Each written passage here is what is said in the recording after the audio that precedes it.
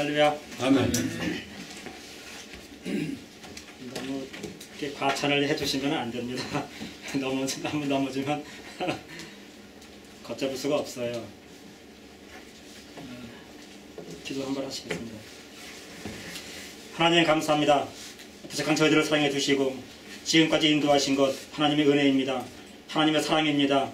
아버지 앞에 있사오니 주님 말씀해 주시고 주님 저희들을 인도해 주시옵시고 하늘나라 가는 그날까지 하나님의 귀한 주신 사명 감당할 수 있는 저희들 되도록 인도하여 주시옵소서 가장 부족한 것 섰습니다. 주께서 말씀해 주시옵시고 성령님 역사해 주시어서 우리 모두 다 함께 하나님의 은혜를 받을 수 있는 복된 시간으로 시간 시간 함께하여 주시옵소서 감사하면서 예수님 이름으로 다하옵나이다. 아멘.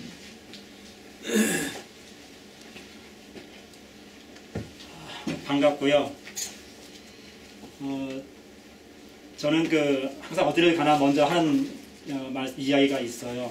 어, 이것은 뭐냐 하면은 오늘 그 제목 말씀하고도 서로 이렇게 상- 상충되는 이야기인데 어, 저는 신학교 처음에 들어갔었을 때에 어, 어떤 교수 목사님이 그런 말씀을 하셨어요.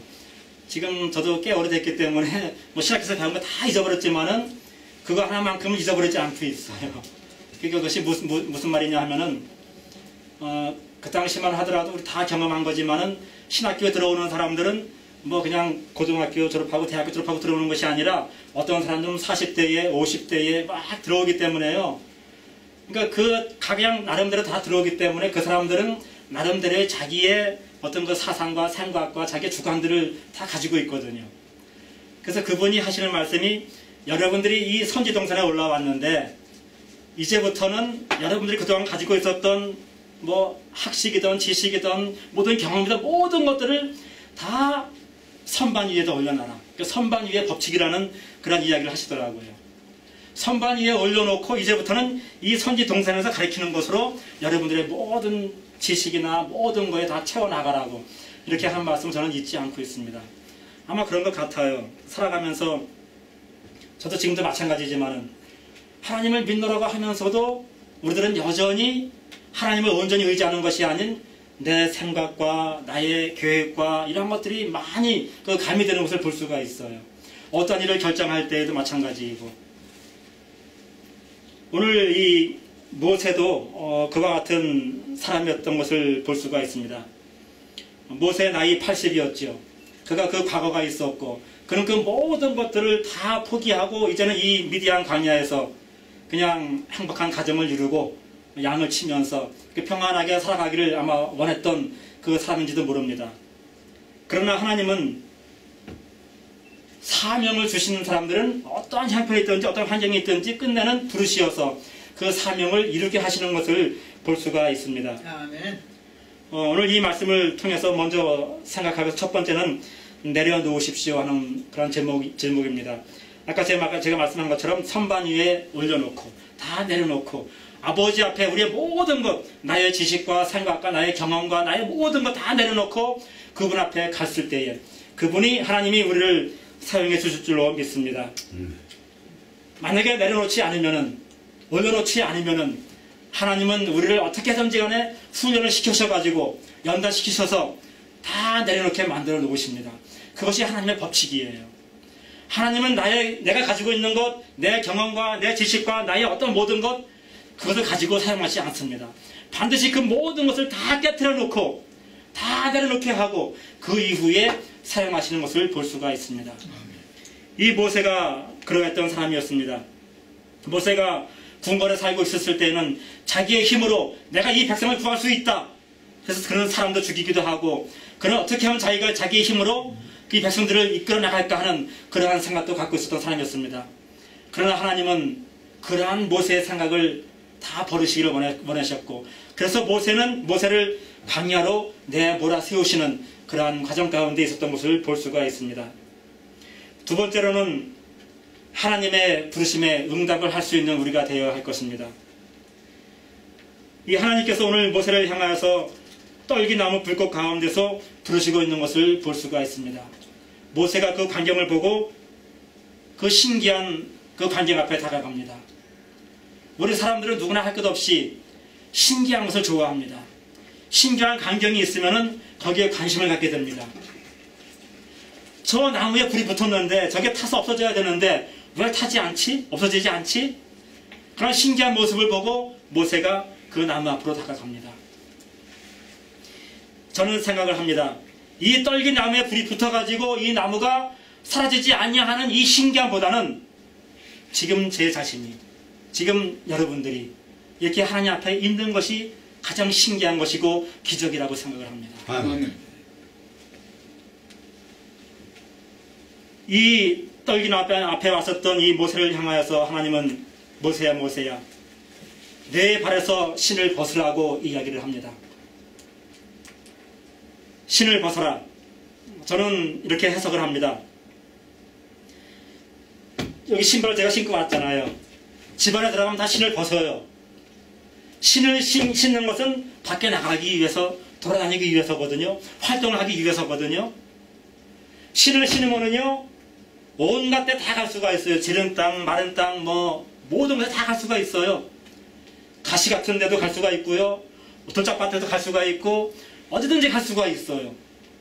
우리 사람이 살아가면서, 우리들이 하나님을 알지 못했을 때에는 내 마음대로 살아왔던 그것들, 내가 가고자 했던 것들, 내가 하고자 했던 것들, 우리는 마음대로 그렇게 살아왔던 우리들이었습니다.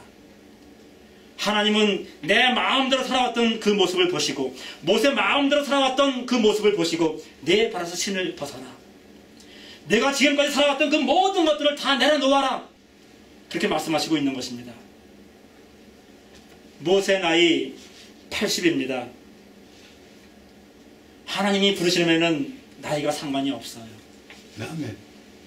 우리 김지호 목사님 단계적인 예가 될 수가 있습니다. 우리 장. 목사님 저 목사님 연락해 주신 생각도 못했는데요. 50살은 하나님께서 그 생각 안 하시고 36살로 보시는 거로 그렇게 생각합니다. 아멘. 그래서 저희 나이, 나이는 36살입니다. 아멘. 하나님에게는 나이라고 하는 연수가 개념이 없습니다. 하나님에게는 이- 그 숫자가 아무런 의미도 없습니다. 하나님은 영원하신 분이기 때문인 것입니다. 오늘 우리가 그런 노래 부르잖아요.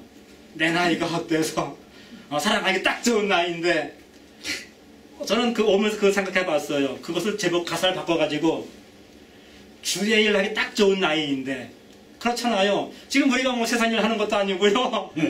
다 내려놨잖아. 이제는 할 일은 뭐가 있어요. 주의 일할 것밖에 없잖아요. 할렐루야. 주의 일 하기 딱 좋은 나이인데 우리 그러한 마음으로 나간다면은 하나님이 우리의 사명을 기쁘게 받아주시어서 사용해 주실 줄로 믿습니다. 아멘. 하나님은 그의 사명을 이루시기 위해서는 나이에 관계없이 사람을 부르십니다. 그러한 우리는 하나님의 부르심을 마태복음 20장에서 볼 수가 있지요. 마태복음 20장에는 포도원에 들어간 일꾼을 하나님이 부르시는 것이 나오고 있잖아요. 아침부터 9시, 12시, 3시, 5시 막 나가가지고 사람을 부르잖아요. 저는 그렇게 생각을 해요.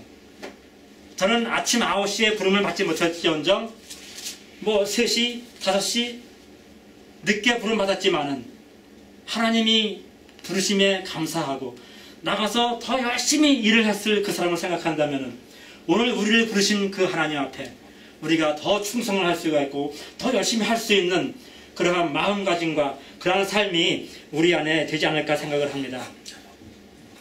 노인학교 나가가지고 체스, 장기를 두고 있는 그러면서 시간을 보내는 한 노인이 있었습니다.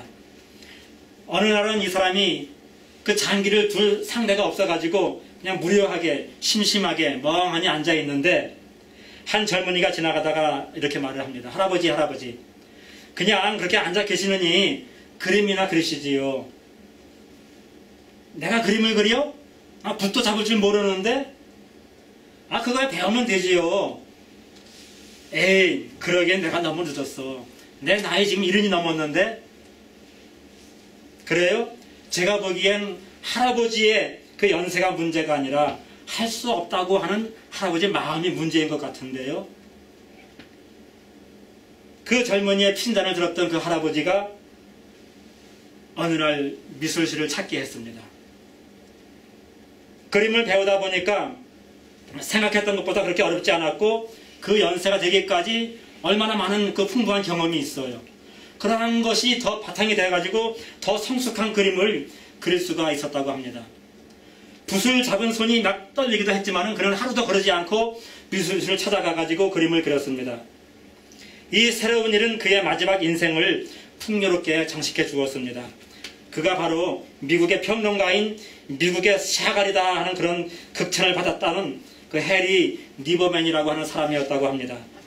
그런 이후에 많은 사람들의 격려 속에서 죽을 때까지 수많은 그림을 그렸고 남겼고 그의 나이 101살에 22번째 전시회를 마지막으로 가졌다고 합니다. 사람의 인생은 언제 끝날지 모릅니다. 60이 되고 70이 된 사람들은 자신들이 나이가 많아가지고 무엇을 새롭게 시작할 수가 없다고 생각할 수가 있습니다. 오늘 저도 그렇고 또 수많은 모든 사람들이 하나님의 능력을 제대로 알지 못하고 있다는 그런 사실입니다. 모세 손에 들려졌던 지팡이 달랑 그거 하나였지만은 하나님에게 그것이 들려질 때에는 그것이 능력의 지팡이 될 줄을 누가 알았겠습니까? 지금까지 살아온 시간보다 앞으로 살아갈 시간이 더 많이 있다는 그런 생각을 사람들은 하지 못하고 있다는 것입니다. 오늘 모세가 그랬습니다. 하나님 앞에서 이야기합니다.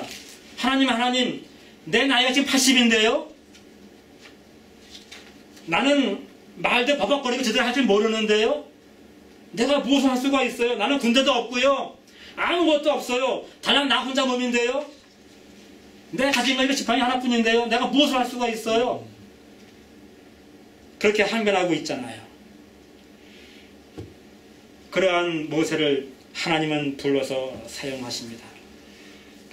오늘 우리들은 갈렙의 신앙을 가져야겠습니다. 갈렙이 요단강 건너서 가나안에 들어갔을 때 여호수에게 뭐라고 말합니까? 내 나이 지금 85세이지만은 내가 저 헤브론 땅에 쳐들어가겠다. 그 땅에 가서 그 안악 같은 그 성경에 보면은요 그 안악 가운데 그 땅에 있는 안악이 가장 컸다고 이야기합니다. 그것을 두려워하지 아니하고 쳐들어가 가지고 그는 그 땅을 차지하는 그러한 축복을 받게 됩니다. 내 나이 85세라. 우리 김지현 목사님이 지금 88세이시던가요? 36세, 36세. 죄송합니다. 오늘 이 말씀 보니까요. 지금 막 올라오면서 제가 생각이, 읽으면서 생각이 났던 건데, 8절 말씀 보면은, 그 가나안 땅에 족, 가나안 족속, 헷 족속, 아모리 족속, 브리스 족속, 히위 족속, 여부스 족속, 이런 족속들이 많이 나오고 있잖아요. 우리가 살아가면서 우리가 상대해야 될 대적들이 이렇게 많이 있다고 하는 것이에요. 우리가 한순간이라도 믿음을 놓치고 사명을 잃어버리면은요, 이 대적들에게 우리는 먹힐 수밖에 없다는 것이에요. 이 순간순간에 우리가 당하는 많은 대적들을 우리가 감당하기 위해서는 더더욱 하나님을 의지하고 하나님 바라보고 나갈 때에 이러한 큰 대적들을 이겨나가는 그러한 목적을 감당케 하는 그런 축복이 있을 줄로 믿습니다. 그리고 또 하나는 이 말씀을 읽으면서 제가 또 생각했던 것은 우리가 늘 눈이 알- 알고 있는 거지만은 하나님은 우리를 가나안 땅에 인도하시기 위해서 부를 수 있지만은 오늘 이 말씀 7절 8절 말씀 보니까요. 여호와께서 가라사대 내가 애- 애굽에 있는 내 백성의 고통을 정령히 보고 그들이 그 간절절로 인하여 부르짐을 듣고 그 우고를 알고 내가 내려와서 쭉 하면서 가나안 그 지방에 이르게 하려 하노라. 우리의 결국은 하나님께서는 우리를 가나안 땅에 들여 옮기시는 거거든요. 그 부르심에 우리가 아멘하고 나가면 우리가 주님만 의지하고 나가면 우리들은 이 땅에 있는 이 수많은 족속들, 이 대적들 결국은 다 이기고 그 가나안 땅에 들어가서 정착하게 될 줄로 믿습니다. 세 번째로 제가 금방 말씀한 것처럼 목적지가 있습니다. 하나님 우리를 부르실 때는 그 목적지가 있습니다. 바로 가나안 땅이지요. 베드로도 말씀하셨습니다. 미- 믿음의 결국은 영혼 구원이다. 하나님이 우리를 부르신 것은 우리의 영혼을 구원하시기 위해서 부른 줄로 믿습니다. 아멘. 무슨 말입니까? 목적지에 갈 때까지 포기할 수가 없다고 하는 것입니다. 목적지에 갈 때까지 하나님은 사명을 감당할 힘을 주시고 붙잡아 주시고 계신다는 사실을 우리는 알아야 합니다. 그것을 알지 못하는 사람들이 어려운 일이 당할 때에 넘어지고 쓰러지고 포기하게 되고 그렇게 됩니다. 목적지에 갈 때까지 우리는 약해질 수가 있습니다. 모세를 보십시오. 그 사명 다 감당하고 났지만은 120세가 되었어도 그 눈이 쇠하지 아니하고 귀도 잘 들리고 그는 건강했다고 이야기하고 있습니다. 내가 사명을 감당하고자 할 때에는 내가 약한 것 같아도 하나님 우리에게 힘을 주시어서 감당할 수 있는 그런 능력과 힘을 주신다는 것입니다. 아멘. 지금 건강을 좀 잃었다고 낙심하지 마십시오. 지금 좀 어려운 일이 있다고 절망하지 마시고 지금 안 되는 일이 있다고 포기하지 마십시오. 아멘. 하나님은 우리에게 맡겨주신 귀한 사명을 다 이루기까지 우리를 붙잡아 주시고 일으키시고 계신다는 사실을 믿으시기 바랍니다. 네 번째 마지막으로 사명을 회복하십시오. 앞서 말한 이 모든 것들이 다 있고 다 이룰지라도 사명이 없으면 그 삶의 기쁨이 없습니다. 사명이 없으면 그 삶에 만족함도 없고 보람이 없습니다. 그 사명을 다 한 사람만이 예수님처럼 내가 다 이루었다고 자신 있는 고백을 드릴 수 있는 아멘. 그러한 은혜와 그러한 축복이 있게 될 줄로 믿습니다. 그 사명을 회복하는 길은 바로 하나님을 만나는 것입니다. 아멘. 아멘. 가시떨기 앞으로 나가십시오. 아멘. 그리고 그 뜨거운 그 불 앞으로 나가십시오. 그 가시떨기라고 뜨거운 불이라고 걱정하지 마시고 염려하지 마시고 그곳으로 달려나가서 하나님의 음성을 듣고 하나님의 부르심의 그 음성을 듣는다면 우리들은 그러한 사명을 감당하게 될 줄로 믿습니다. 그리고 그 사명을 감당하게 될 줄로 믿습니다. 하나님을 만나기 위해서 그것이 호렙산 가시딸기 나무 앞이든지 바- 아니면 바로왕 앞이든지 홍해바다 같은 그러한 곳이든지 산과 강과 온갖 위험이 도사시, 도사리는 그러한 곳이라 할지라도 하나님을 만난 사람은 능히 그것을 이기면서 나가게 될 줄로 믿습니다. 아멘. 어떠한 인생의 끝을 맺으시렵니까? 여러분들의 삶을 하나님에게 내려놓으십시오. 여러분들이 신고 있는 신발과 여러분들이 가지고 있던 모든 경험들과 모든 것들을 여러분들이 치장하고 있는 그 모든 것들을 다 내려놓으시고 아멘. 선반 위에 다 올려놓으시고 하나님 앞에 내려놓으시고 하나님께 나가면은 하나님이 붙잡아 주십니다. 할렐루야. 기도하시겠습니다. 감사합니다. 하나님 감사합니다. 여전히 저희들을 돌아보면은 여전히 우리 가운데는 내가 있었고 나의 지식이 있었고 나의 경험이 있었고 나의 주관이 있었고 나의 생각이 있었던 것을 고백합니다. 어느 때에나 주님 다 내려놓고 주님의 그 부르심에 내가 여기 있나이다고 달려나갈 수가 있겠습니까? 아버지 하나님 다시 한번 저희들을 찾아와 주시어서 말씀해 주시고 불러 주시기를 원하고 기도합니다. 지금이라